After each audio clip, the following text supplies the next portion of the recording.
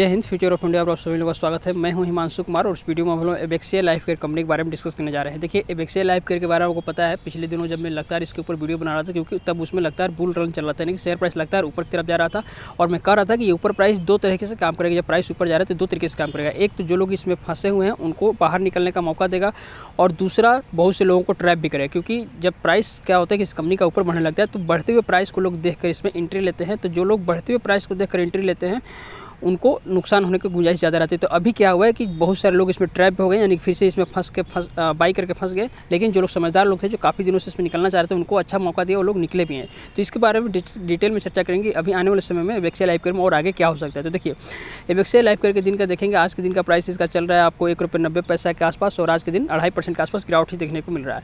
और आप देखेंगे तो इसमें गिरावट अब कुछ दिनों तक ऐसे ही चलता रहेगा। एक सप्ताह में भी देख सकते हैं, तकरीबन डेढ़ परसेंट के आसपास गिरा है। एक माह में देख सकते हैं कि यहाँ पर बाईस परसेंट और सिक्स मंथ में भी साढ़े चार परसेंट के आसपास गिरावट देखने को मिला। अब देखिए, अभी आपको पता है कि फरवरी में, पिछले ही मंथ में देखेंगे तो इसमें तेज़ी आई थी, लेकिन अभी फिर भी देखेंगे तो सिक्स मंथ में और एक मंथ में इसमें लगता है गिरावट देखने को मिलेगी। ऐसा इसलिए क्योंकि पिछले जो फरवरी मंथ में शेयर प्राइस में तेज़ी देखने को मिली थी, कुछ खास तेज़ी नहीं थी। वो बस मौका दिया था कि जो लोग बहुत दिनों से फंस गए, जिनको बहुत ज़्यादा नुकसान हो गया, वो बाहर निकल जाए। यहाँ पर देखेंगे मैं आपको स्क्रीनर की वेबसाइट पर लेकर आया हूँ। तो देखिए प्राइस यहाँ से आप देख सकते हैं, लगातार नीचे आया।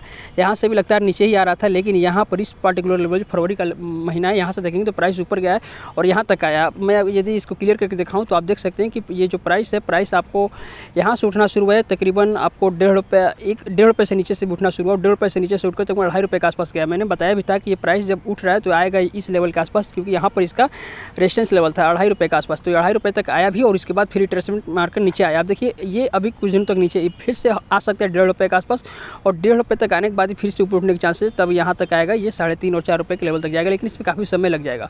अब जो लोग क्या हुआ है कि मान लीजिए बहुत से लोग इसमें जब प्राइस बढ़ रहा था तो इस लेवल पर भी एंट्री लिए होंगे, कुछ लोग यहाँ पर भी एंट्री लिए होंगे तो वो अभी नुकसान में चलेंगे। मुझको पता है क्योंकि बढ़ते हुए प्राइस को देखकर उन्होंने एंट्री लिया था, लेकिन जो लोग यहाँ पर बाई किए होंगे, यहाँ पर बाई किए होंगे, उनको अच्छा खासा बेनिफिट भी हुआ होगा। या जो लोग इस लेवल पर बाई किए होंगे, वो बाहर निकल भी गए होंगे। अब देखिए, यदि आपने इसमें नया एंट्री ले लिया है तो अब आपको कायदे से बने रहना है और कम से कम इस लेवल तक प्राइस आने तक बने रहना इससे नीचे चाहता है, तब आपको चिंता की बात है। हालाँकि जब तक प्राइस इसके ऊपर है, तब तक चिंता की कोई बात नहीं है। और जो लोग पहले से इन्वेस्टमेंट किए हैं, उनके लिए भी। देखिए वेक्सिया लाइफ केयर एक शानदार कंपनी है। फंडामेंटल थोड़ा सा वीक है, लेकिन उतना भी नहीं है। कमोडिटी केमिकल और एग्रीकल्चर प्रोडक्ट में काम करने वाली कंपनी है। तो देखिए केमिकल का डिमांड हर एक सेक्टर में, हर एक चीज़ में केमिकल का यूज़ किया जाता है। तो इसलिए कंपनी भविष्य में चलेगी। और थोड़ा सा फंडामेंटल वीक है, लेकिन आने वाले समय मार्केट का देखेंगे तो एक सौ करोड़ के आसपास है और इसका रिटर्न ऑन इक्विटी और आर भी पॉजिटिव ऐसा नहीं कि माइनस में तो उतना भी फंडामेंटल वीक नहीं क्वार्टरली रिज़ल्ट थोड़ा थोड़ा बेहतर हो जाएगा तो आने वाले समय में एक्सेल लाइफ में अच्छी खासी तेज़ी देखने को मिलेगी।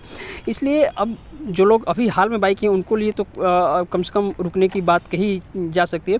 और बाकी जो लोग पहले से इन्वेस्टमेंट किए थे लंबी अवधि का नज़रिया तो आपके लिए भी कोई खास चिंता की बात नहीं होगी। देखिए वेक्सेल लाइफ संबंधित कुछ नया अपडेट नहीं है। जो बातें थी, मैंने आपको बता दी। फिर भी आपके मन में कोई कन्फ्यूज़न है सवाल है तो उस कमेंट में ज़रूर पूछेगा पर्सनली मुझसे ज़रूर कर बातें करने के लिए आप मुझको इंस्टाग्राम पर फॉलो कर लीजिएगा, जिसका लिंक इस वीडियो को डिस्क्रिप्शन में मिल जाएगा। यदि आपके पास शेयर बाज़ार में इन्वेस्टमेंट करने के लिए बेस्ट डिमेट अकाउंट नहीं तो मैं आपको रिकमेंड करूँगा, आप एंजल वन एम स्टॉक के साथ फ्री डिमेट अकाउंट ओपन कर सकते हैं, जिसका लिंक इस वीडियो को डिस्क्रिप्शन में मिल जाएगा। बाकी मिलते हैं अगली वीडियो में, तब तक के लिए धन्यवाद, शुक्रिया।